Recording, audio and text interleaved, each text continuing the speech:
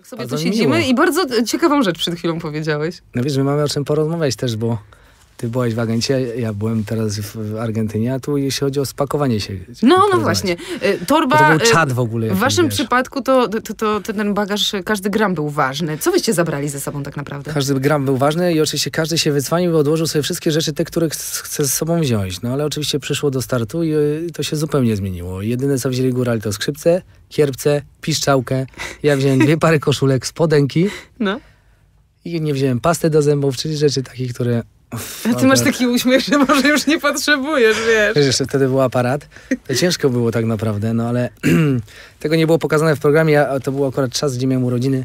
Dostałem najlepszy prezent, jaki mogłem dostać w tamtym miejscu, czyli szczoteczkę do zębów i pastę, która tak naprawdę uratowała mi życie tam.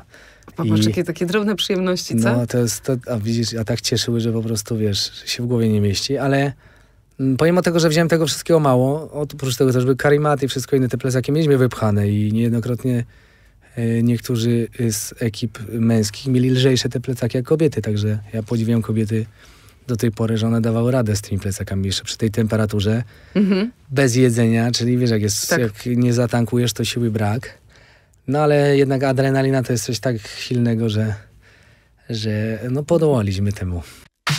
Radio.